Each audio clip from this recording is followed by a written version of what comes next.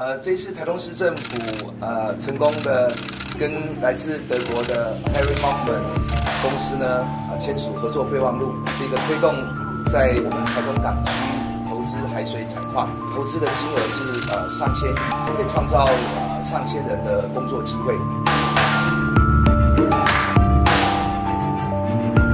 三月六号，台中市政府与德国霍夫曼咨询公司签订海水采矿联合开发投资案合作备忘录，预估投资金额高达一千一百亿元。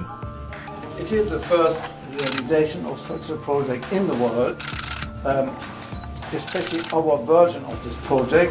我们实际到德国经济办事处确认，查询德国联邦州一般登记入口网，搜寻 Hoffman Financial Consulting，查无资料。查询备忘录上的公司登记二四零五四七二七九，还是查无资料。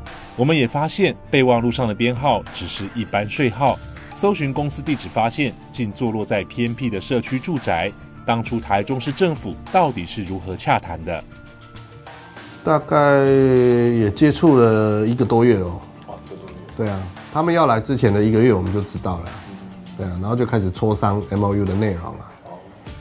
原来全球首例的海水采矿投资案审核过程竟是如此草率，我们致电负责人 Harry Hoffman 却得到这样的结果。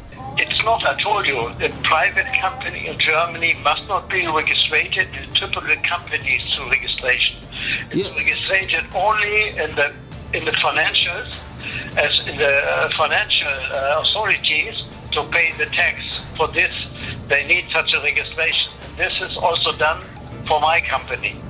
拿到 Harry Hoffman 所说的商业登记，发现只是商业登记的申请表格，实际致电到德国 IHK 工商会查询。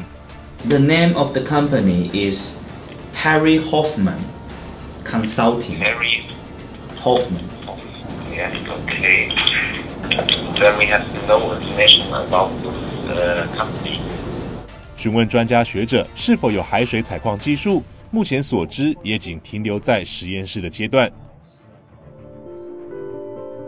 我们也请在座的各位共同来见证。台中市政府宣布引进的千亿投资案，竟漏洞百出，画出了一个美好的幻境，却如海市蜃楼般遥不可及。